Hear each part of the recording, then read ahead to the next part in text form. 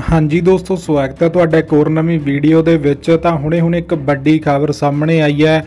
ਤੁਹਾਨੂੰ ਦੱਸੀਏ ਕਿ ਸੀਐਮ ਭਗਵੰਤ ਮਾਨ ਨੂੰ ਜਾਨੋਂ ਮਾਰਨ ਦੀ ਧਮਕੀ ਦਿੱਤੀ ਗਈ ਹੈ। ਦੱਸ ਦਿਆਂ ਤੁਹਾਨੂੰ ਕਿਸ ਨੇ ਦਿੱਤੀ ਹੈ, ਧਮਕੀ ਕੀ ਹੈ, ਮਾਮਲਾ ਇਸ ਵੀਡੀਓ ਦੇ ਵਿੱਚ ਤੁਸੀਂ ਵੀਡੀਓ ਨੂੰ ਲਾਸਟ ਤੱਕ ਜਰੂਰ ਦੇਖਦੇ ਰਹਿਓ ਉਸ ਤੋਂ ਪਹਿਲਾਂ ਵੀਡੀਓ ਨੂੰ ਲਾਈਕ, ਸ਼ੇਅਰ ਅਤੇ ਚੈਨਲ ਨੂੰ ਸਬਸਕ੍ਰਾਈਬ ਕਰ ਲਿਓ ਤਾਂ ਜੋ ਤੁਹਾਡੇ ਤੱਕ ਆਉਣ ਵਾਲੀ ਹਰ ਇੱਕ ਨਵੀਂ ਅਪਡੇਟ ਸਭ ਤੋਂ ਪਹਿਲਾਂ ਪਹੁੰਚਦੀ ਰਹੇ ਤਾਂ ਦੋਸਤੋ, ਤੁਹਾਨੂੰ ਦੱਸੀਏ ਕਿ ਪੰਜਾਬ ਦੇ ਸੀਐਮ ਭਗਵੰਤ ਮਾਨ ਨੂੰ ਖਾਲਿਸਤਾਨ ਅੱਤਵਾਦੀ ਸੰਗਠਨ ਸਿੱਖ ਫੋਰ ਜਸਟਿਸ ਦੇ ਆਗੂ ਗੁਰਪਤਵੰਤ ਸਿੰਘ ਪੰਨੂ ਦੇ ਖਿਲਾਫ ਪੰਜਾਬ ਦੇ ਵਿੱਚ ਐਫ ਆਈ ਆਰ ਦਰਜ ਕੀਤੀ ਗਈ ਹੈ।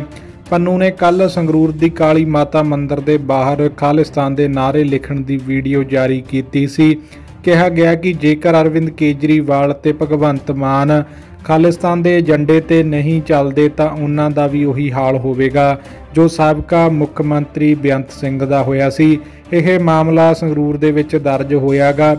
ਜਿਸ ਤੋਂ ਬਾਅਦ ਸੀਐਮ ਦੀ ਸੁਰੱਖਿਆ ਦੇ ਵਿੱਚ ਵਾਧਾ ਤੇ ਚੌਕਸੀ ਕਰ ਦਿੱਤੀ ਗਈ ਹੈ ਤੇ ਗੁਰਬਤਪੰਤ ਸਿੰਘ ਪੰਨੂ ਦੇ ਖਿਲਾਫ ਮਾਮਲਾ ਵੀ ਦਰਜ ਕਰ ਲਿਆ ਗਿਆ ਤੇ ਇਸ ਇਸ ਵੇਲੇ ਦੀ ਸਭ ਤੋਂ ਵੱਡੀ ਅਪਡੇਟ ਵੀਡੀਓ ਵਧੀਆ ਲੱਗੀ ਅੱਗੇ ਵੱਧ ਤੋਂ ਵੱਧ ਲਾਈਕ, ਸ਼ੇਅਰ ਕਰ ਦਿਓ।